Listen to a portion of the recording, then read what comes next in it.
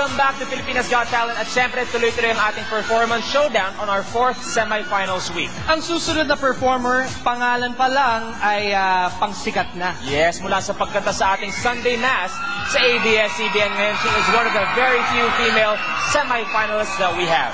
We are talking about fame. Let's watch this. Bongga. Yes na yes. It's a yes. Hindi pa rin ako nag-give up. Bigay ito ni Lord, so hindi ko ikakahiya. Once in a while, nagsastruggle tayo. Dumadaan talaga yung mga ganyan, yung mga challenges.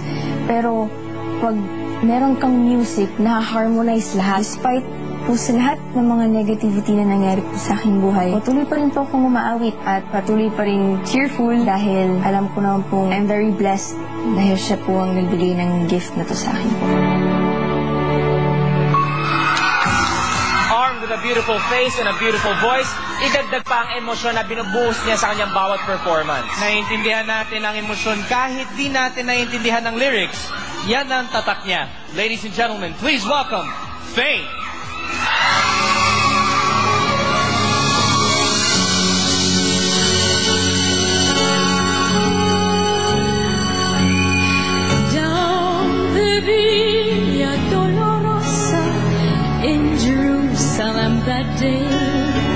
To see.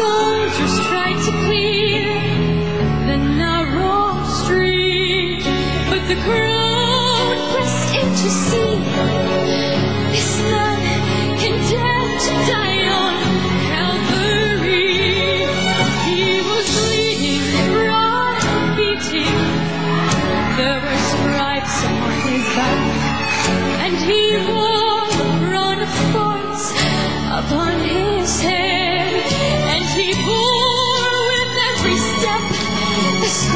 those who cried out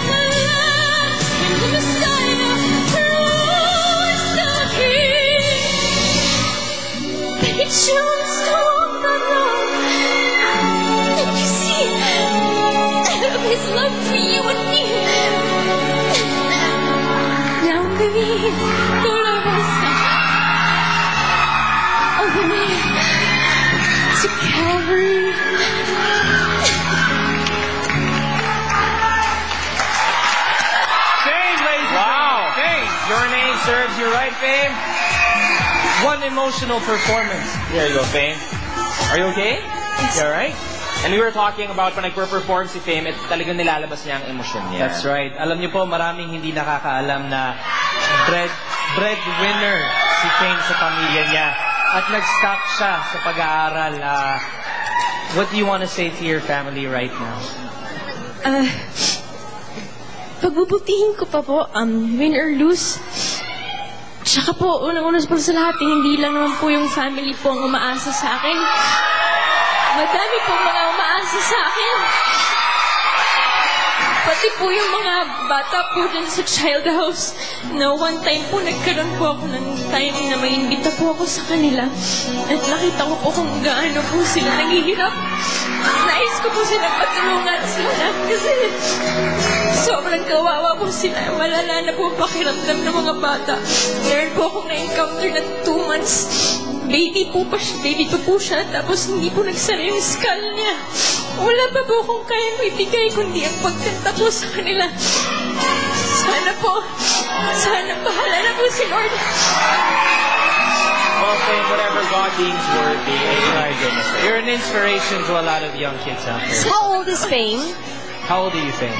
19 po. 19. 19. Bakit kinailangan tumigil sa pag-aaral? Um, financial problem lang po kasi. And uh, breadwinner, so saan ka nag-work ngayon? Hindi pa perform-perform na po ko sa wedding occasion. Sa simbahan po, yan po, iniimbita po ako. Boss?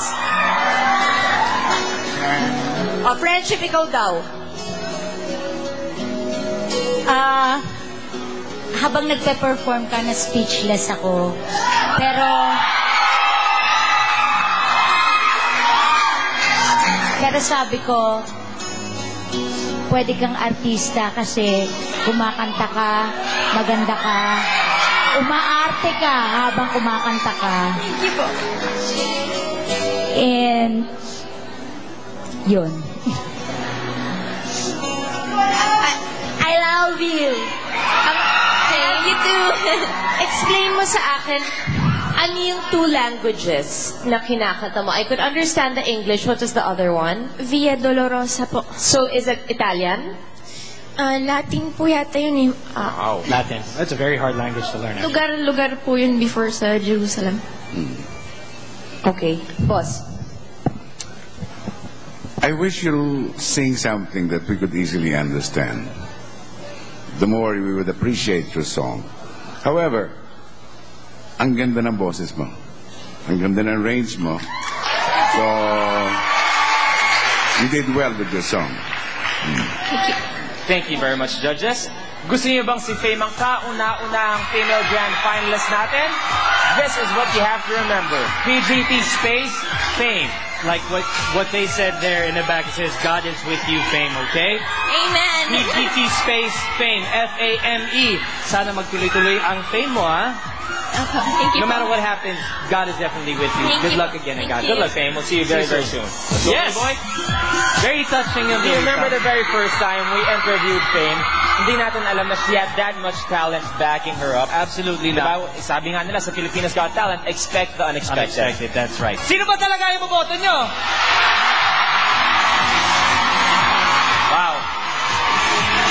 Para maalala natin ang mga naging performance ng ating semi-finalists this evening, let's watch this.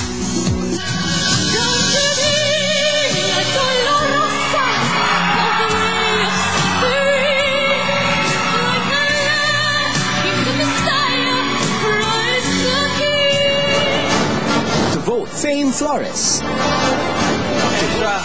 Good luck, everyone. Good luck. To Calvary